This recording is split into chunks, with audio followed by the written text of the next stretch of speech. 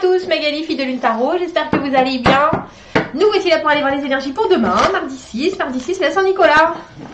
C'est la Saint-Nicolas. Alors je sais pas si c'est la Saint-Nicolas euh, dans le calendrier français, ou si là ils nous disent juste que c'est euh, la Saint-Nicolas euh, par rapport à la tradition. Si vous voyez ce que je veux dire, parce que je pense que la Saint-Nicolas, avec le, Père Noël pour Saint-Nicolas, ça vient pas de chez nous. Me semble-t-il, vous me direz, vous me direz, vous me direz. Alors, qu'est-ce que nous dit la- l'agenda de la Lune? Euh, Les plans sont arrivés à maturité autant que possible. Appliquez le pardon, pratiquez-le pour vous et vous-même et les autres. Les plans sont arrivés à maturité autant que possible. Bon. Après, après la maturité, ça pourrit. Donc, vous y avez suffisamment réfléchi, messieurs, dames. Il est temps. Il est temps. C'est drôle parce que je veux prendre ce jeu et en même temps, je veux pas. Alors, je sais pas le message qu'il a à nous transmettre. On va aller voir ça. J'espère que vous allez bien. J'espère que vous n'avez pas froid aux pieds. Moi, j'ai quand même une paire de collants, une paire de chaussettes. J'ai toujours froid aux pieds. Mais tout va bien. Et vous savez quoi? On s'y habitue au final à pas avoir de chauffage. hein. on s'y habitue. On met des collants. Combien j'ai d'épaisseur aujourd'hui? Une, deux. J'ai quoi en dessous? Trois. Oh, ça va. Hein Deux pulls et un, et un haut. Tout va bien. Non, mais c'est parce qu'on est à l'intérieur. Si j'étais dehors, je ferais pas la maline comme ça. Bien sûr. Bien sûr. Ah, Mais les pieds, ouais. Les pieds, chaussures en cuir, en fait, c'est drôle, hein. Ça fait quand même trop aux pieds. Bref, il va falloir trouver une solution. Si vous voyez ce que je veux dire. Allons voir les énergies pour ce mardi 6 décembre. Est-ce que vous avez... Wow Ben, On commence avec euh, trois cartes, dont l'étoile à l'envers. Ah. L'étoile à l'envers, intéressant, je sais pas si vous avez vu le tirage de comment ça va se passer dans les 15 prochains jours, c'était la première carte, c'est-à-dire une, un espèce de ras-le-bol. Ras-le-bol par rapport à une situation, je pense, qui dure. Oh bah là, on a 6 de coupe, 6 d'épée. Intéressant parce que dans le tirage du dimanche, on avait 6 de bâton. Et sinon, il n'y avait que des 5, me semble-t-il. Oui, il n'y avait que des 6. Non, je crois que c'était 6 de bâton et il n'y avait que des 5. 6 de coupe, 6 d'épée, il faut avancer pour aller chercher. Alors c'est drôle parce que moi, cette carte du 6 de coupe, tout le monde l'appelle l'âme sœur. Pour moi, c'est plutôt une relation de réciprocité où quelque chose nous apporte autant que euh, émotionnellement on en a besoin. Et, autant qu'on est prêt à donner aussi. Mais là, avec ces deux 6, vous êtes déjà dans une, dans une avancée. C'est drôle du coup, vous avez vu, j'ai pas pris le bas de deck pour voir. Bah, Je comprends maintenant. Dans la tempérance à l'envers, je vous sens taper du pied là. Taper du pied, de l'impatience, mais en même temps, avec ces deux cartes, il y a pourtant quelque chose que vous avez clairement accroché aussi bien au cœur qu'à la tête. Alors je sais pas si avec cette étoile à l'envers vous vous empêchez pour, pour le moment d'y croire. Vous vous dites bon, je vois bien que les choses, mais c'est de votre propre décision que ça avance. hein. Neuf de denier, toujours un peu euh, problématique. Alors c'est drôle parce que c'est le financier, c'est le matériel, mais c'est aussi savoir qu'on n'arrive pas à voler de ses propres ailes au niveau. Alors j'ai envie de dire, c'est tangible hein, les deniers, mais que ça soit au niveau de votre travail, vous savez que vous pouvez faire certaines choses, mais vous pouvez pas encore vraiment vous lancer tout seul. Euh, pour l'instant, elle était là. hein. De toute façon, ça va être notre euh, notre icône de la semaine, la reine de denier de quoi je dois m'occuper, comment est-ce que je peux m'organiser, qu'est-ce que je peux faire au mieux avec ce que j'ai sous la main? Et puis surtout avec cette idée d'être, euh, j'ai envie de dire d'être juste avec tout le monde dans ce qu'elle procure. C'est-à-dire qu'elle, elle s'oublie jamais, la reine de denier, parce qu'elle sait que euh, si elle veut pouvoir euh, servir aux autres, il faut qu'elle-même soit bien servie.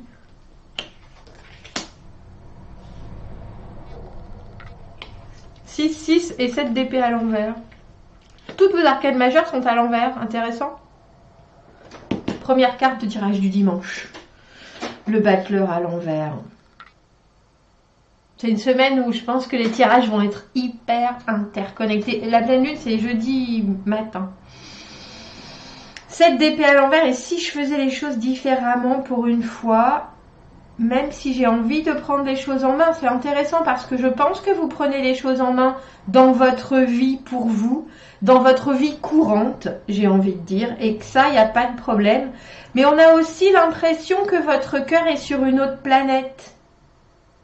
Et votre cœur, il essaye, alors j'ai presque envie de dire, il fait son petit bout de chemin sur une autre, avec une autre façon d'être, une autre façon de considérer les choses.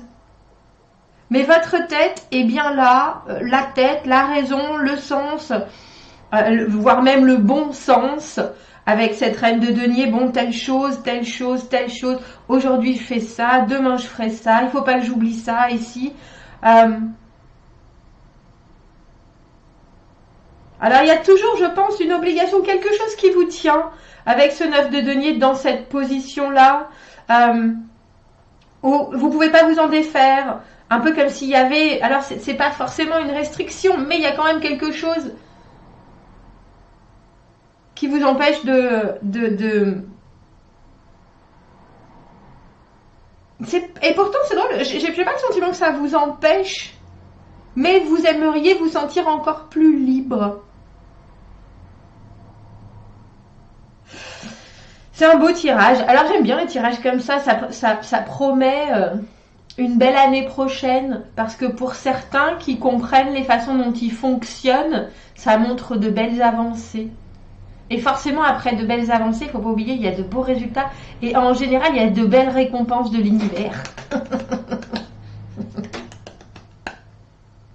et, je trouve ça intéressant que vous ayez ces, euh, toutes ces arcades majeures à l'envers parce que quelque part, c'est aussi alors, je, suis désolée, je vais dire lutter contre l'univers pour faire votre propre chemin et votre propre raisonnement au travers de nouvelles expériences, tout en sachant que de toute façon, à partir du moment où vous mettez votre euh, intention dans du positif, l'univers il va remodeler les choses, si vous voyez ce que je veux dire.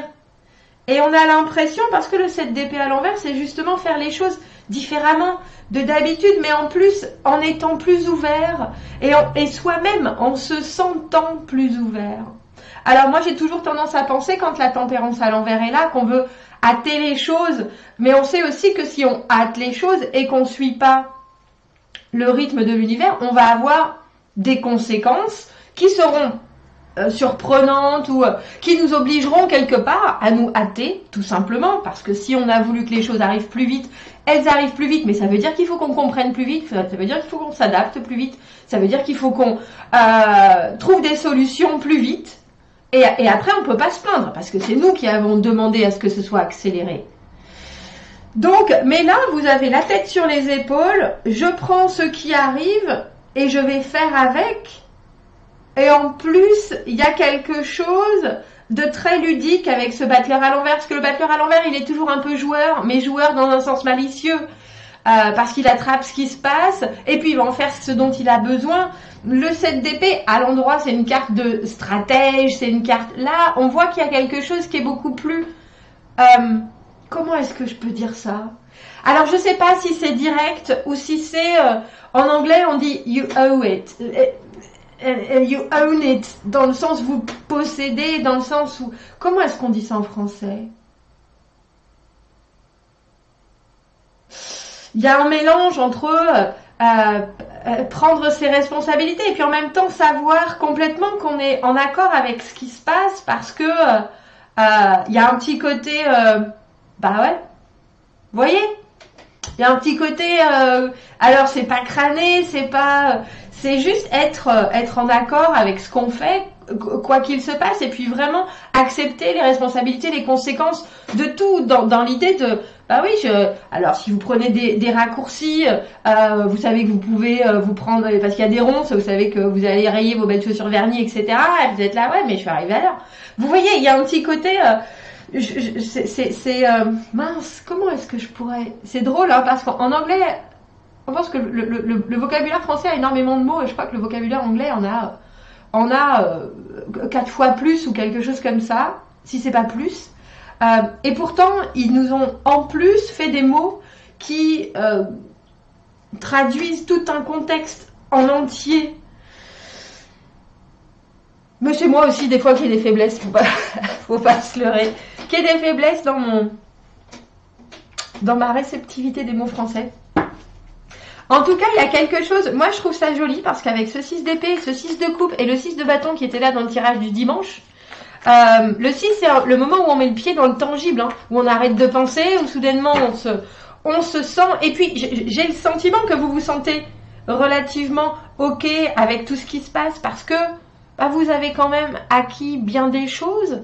Euh, si c'est professionnel, vous êtes, vous savez exactement ce qu'il faut dire, ce qu'il faut faire, où est-ce qu'il faut mettre les choses. Il n'y a pas de problème. Mais en même temps, on a l'impression que vous vous ouvrez aussi à quelque chose qui pourrait être un peu plus. Euh, bon, moi, je vais faire avec ce qu'il y a, et puis je vais faire aussi avec ce que les autres vont m'amener. Mais dans l'idée de, même si c'est pas ce que je pensais en vouloir ou ce que je pensais concrétiser, ben au final, si je travaille avec eux dans tous les sens du terme, hein, amoureusement, familialement, professionnellement, euh, je vais aussi essayer de comprendre leur comprendre. Waouh, il y a eu un petit coup de québécois qui est venu là. Je vais essayer de comprendre leur point de vue ou comprendre d'où ils viennent ou leur énergie pour essayer bah, de fabriquer quelque chose qui éventuellement peut leur correspondre aussi. Vous, on a l'impression que vous êtes très ancré et en même temps prêt à de grands changements. De grands changements. Parce que dernièrement, j'ai vu des vidéos avec euh, Céline Dion. C'est peut-être pour ça. Je sais pas. Je sais pas pourquoi je pense à ça. En plus, c'est pas vrai, je regarde pas, mais. Enfin, je vois des. Ah, vous savez, quand on est sur Facebook ou sur Insta, vous, vous cliquez sur un truc et puis ça vous ouvre autre chose. Et puis après, vous avez dix fois la même personne. Donc là, c'était ça. Et j'avais cliqué parce que ça voit, bien entendu. Mais je crois que ça fait longtemps que je n'ai pas entendu parler. Vous voyez l'impératrice à l'envers, Battler à l'envers, impératrice à l'envers. Les émotions sont bien là, l'excitation est bien là, et en même temps, et en même temps, c'est entre l'excitation et la peur. Et si je ratais, mais avec un tirage comme ça, vous, pourrez, vous pouvez rien rater, messieurs dames. Vous pouvez rien rater. Cavalier d'épée, un objectif une direction, il y a quelque chose de l'envol, c'est ça. Et pourtant, vous avez les pieds sur terre. Mais il y a une autre partie de vous qui est déjà en train d'aller voir, en train de voler plus loin. Avec les... Ah, c'était ça. Avec les pieds sur terre. Alors, je vais vous raconter un truc. Je sais pas si vous avez vu sur Insta, je fais la pierre de la semaine. J'aime bien, je regarde les cristaux, du coup... Euh, et puis, je, pour choisir la pierre, je, prends une liste et je, cherche une lettre. Alors, j'attends que la lettre apparaisse dans ma tête, bref. Et là, ça s'appelle la cancrinite. Alors, je vais vous montrer. Je suis obligée de me lever du coup. Parce que mon fils, je pense que mon fils est un mystique. Bref, on en reparlera. Il a choisi celui-là. Et en fait, c'est ça. Et la cancrinite, ça favorise les voyages astrales. Je vous suis depuis le moment où j'ai dit vous avez, vous vous êtes envolé et vous avez les pieds sur terre. Voilà tout ce qui est passé dans ma tête. Si vous voulez essayer les voyages astrales, c'est cette semaine, messieurs. Si vous avez des, informations, des documents, des choses, envoyez-les-moi. Je suis très intéressée. Vous êtes déjà à une nouvelle étape. Mais c'est drôle parce que j'ai le sentiment que c'est un peu comme si votre âme avait décidé de prendre une autre direction et votre corps et votre tête, tout est encore là, bien là et bien là, mais il y a déjà avec ce battleur à l'envers qu'on a depuis dimanche, avec toutes ces arcanes majeures, avec ce cavalier d'épée qui a une vision des choses, euh, c'est déjà ailleurs. Et l'impératrice à l'envers, bien sûr, elle sait pas quoi faire. Et puis, si vous êtes reine de denier, cette impératrice à l'envers, il y a quelque chose de l'ordre de la facilité de communication, d'être ouvert à tout le monde. Ça, ça risque de coincer un peu, par contre. Peut-être bien. Je pense que ça va être une semaine hyper intéressante. Je vais faire ce tirage de la pleine lune. Bon, euh, dites-moi, commentez, n'hésitez pas. Abonnez-vous à la chaîne euh, si vous en avez envie. Aimez la vidéo si ça résonne. Si vous avez besoin d'un tirage privé, vous avez mon adresse email dans la petite boîte juste en dessous. Je vous souhaite un très joli mardi et je vous dis à bientôt. Au revoir.